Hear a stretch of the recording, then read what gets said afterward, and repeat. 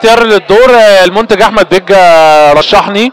آه، هو والمنتج ريمون لحظي والمنتج مراد مجدي. والأستاذ مرقس عادل قال لهم آه فعلا أنا شايفه فعلا في الدور.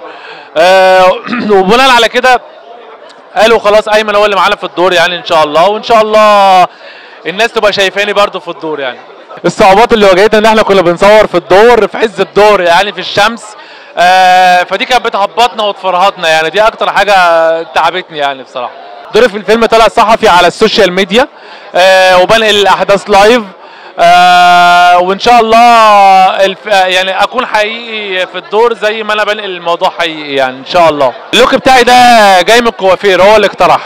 بحب آه مستر بين شوية وبحب آه بحب آه، جيم كاري شوية.